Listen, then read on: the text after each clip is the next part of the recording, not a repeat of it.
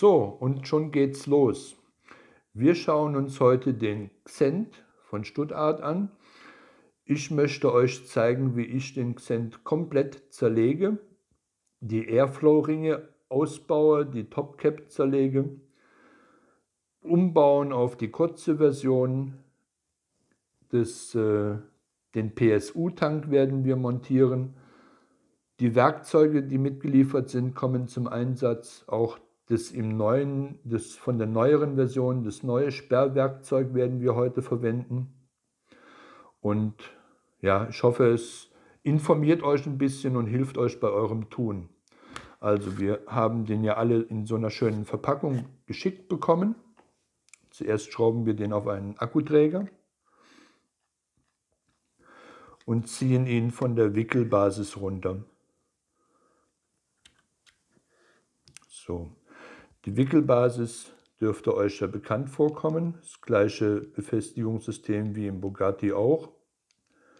Mit dem Unterschied, dass hier noch eine Airflow mit dabei ist. Zwischen den Polen kommen die verschiedenen Sticks zum Einsatz. Einmal dieser hier für MTL mit einem kleinen Loch ähnlich der für DL mit einem etwas größeren Loch und für Mesh komplett ohne Öffnung. Das wird ja da nicht benötigt. Bei Mesh wird auch die untere Airflow vom Xent äh, hat, wird nicht verwendet. So. Dann bauen wir zuerst den Xent auseinander. Wir stellen die Airflow, die obere Airflow aufs größte Loch. Und jetzt kommt dieses neue Sperrtool zum Einsatz. Etwas klein, aber durchaus sinnvoll. Da steht jetzt auch Xent drauf. Und auf der Rückseite seht ihr diese drei Nibbel. Die passen genau in diese Airflow-Löcher, in die neuen Airflow-Löcher rein. Wir setzen es einfach auf die, auf die Airflow drauf, drücken es mit dem Daumen fest und können jetzt den Verdampfer auseinanderschrauben. So, das Glas gleich zur Seite stellen. Und wir beginnen mit dem Zerlegen der Topcap. Ihr seht eine kleine Imbusschraube, 1,5 mm die drehen wir komplett raus. Achtet darauf, dass sie euch nicht verloren geht. Und jetzt schrauben wir den wieder auf, damit wir den Bajonettverschluss lösen können.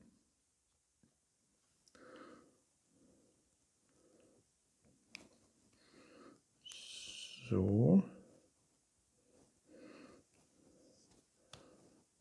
Es hat Klack gemacht. Eigentlich geht er jetzt auseinander. Okay, da ist er schon. So, und dann schauen wir uns dieses Unterteil von der Top Cap an.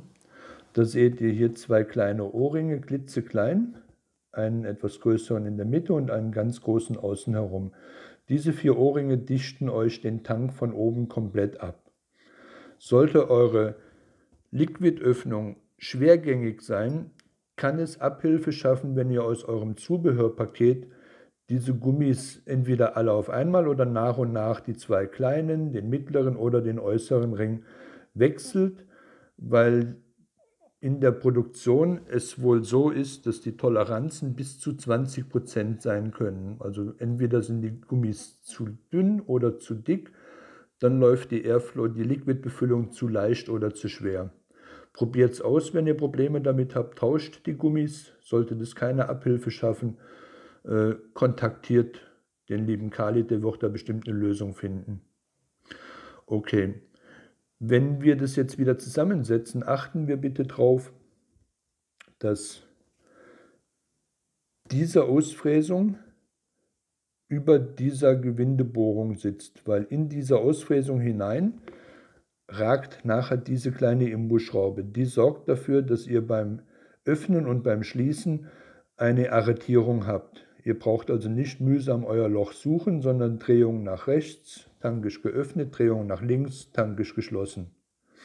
Okay, wir bauen es wieder zusammen. Jetzt müssen wir nur, jetzt habe ich selber gerade nicht aufgepasst. Okay. Einmal um die Uhr, so.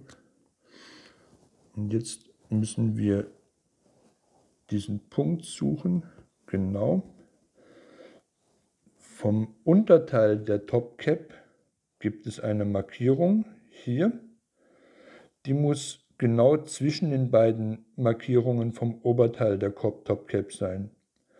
Dann ist gewährleistet, dass ihr genau den Punkt erreicht habt, in dem die Imbusschraube eingreifen kann. Jetzt müssen wir es nur wieder abschrauben, ohne dass sich das verstellt. Beherzt zugreifen wieder arretieren.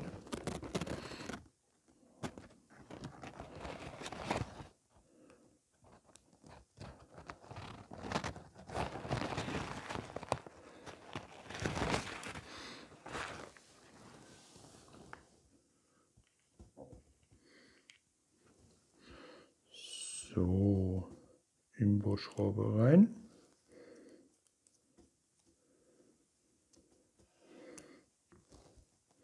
Ich habe jetzt nicht das Gefühl, dass es passt. Es hat sich ein bisschen verstellt.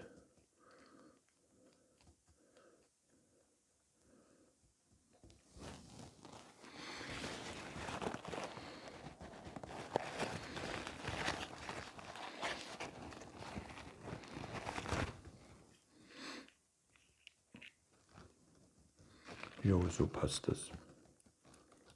Genau.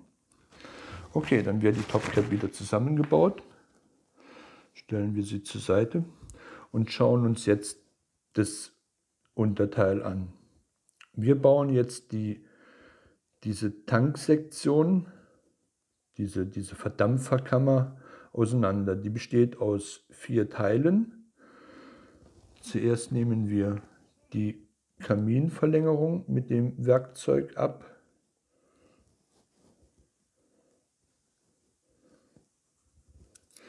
Ihr seht, die geht richtig, richtig schwer. Auch da können wir dieses Tool wieder verwenden.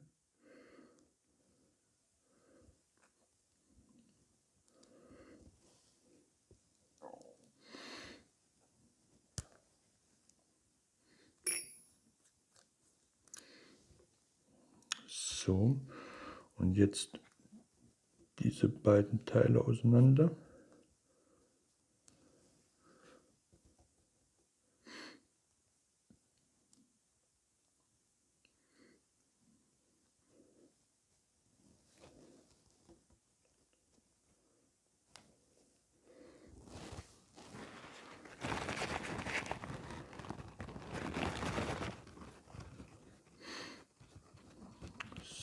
So. Den Airflow-Ring vom Oberteil ziehe ich einfach nach unten heraus. Ich setze es einfach hier oben auf Strip-Tip und schiebe den Ring nach unten. Dann ist der abgezogen.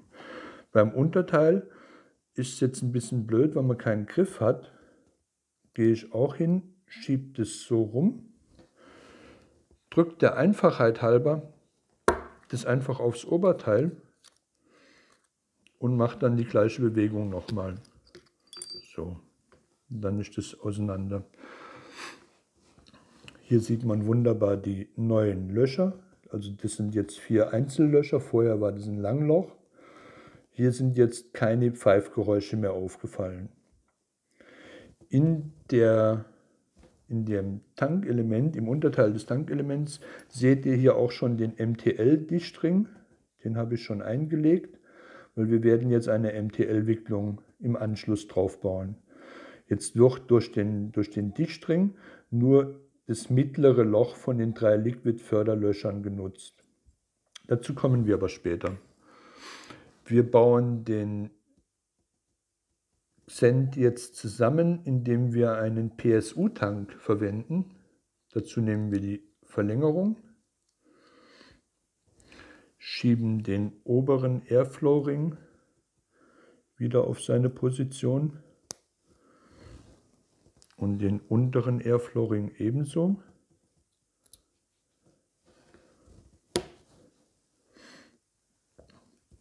Schrauben das zusammen.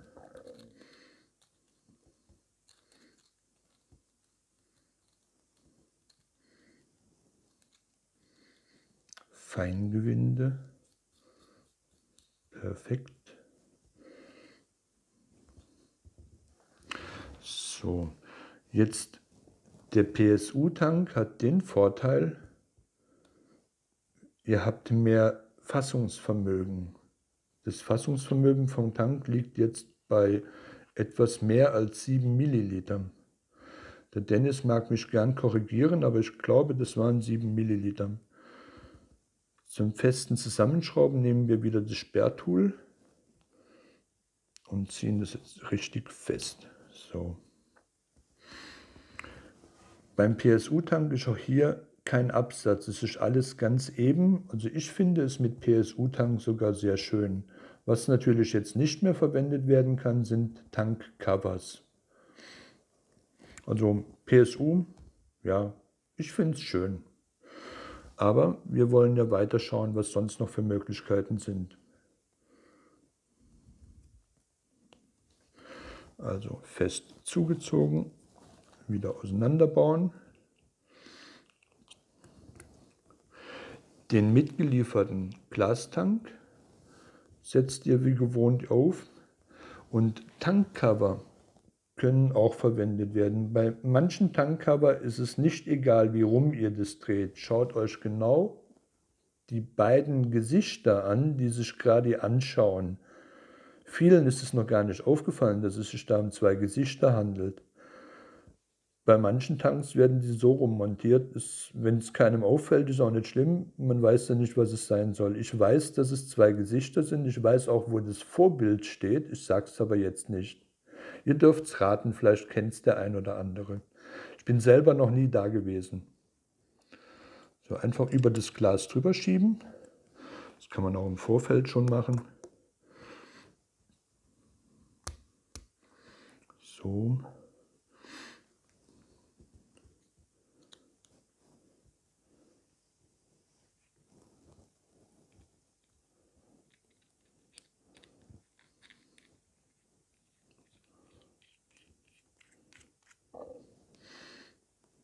Auch eine ganz tolle Sache. Der Epic mit diesen Tankcovern macht eine richtig gute Figur. Er sieht total nobel aus. Hm, was meint ihr? Hat was, oder? Man kann den Liquidstand trotzdem noch sehr, sehr gut erkennen. Okay, aber das ist noch nicht der letzte Schritt. Wir haben noch mehr Möglichkeiten. Wir bauen jetzt den, habe Epic gesagt, den Xent um auf die kurze Version.